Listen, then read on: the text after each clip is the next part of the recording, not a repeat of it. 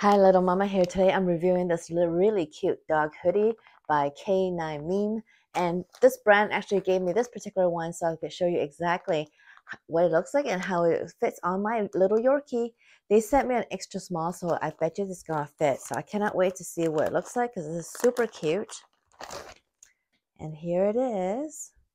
It is a hoodie and it's plaid and it's uh, black on the bottom and here is the other side. And it's got these little strings. It's so cute and adorable. And the hoodie is so cute. oh my god, I cannot wait to put on him. My Yorkies is right at seven pounds, and this extra small size fits him perfectly, as you can tell right there. The hoodie fits his head really nicely, and he just looks adorable with this.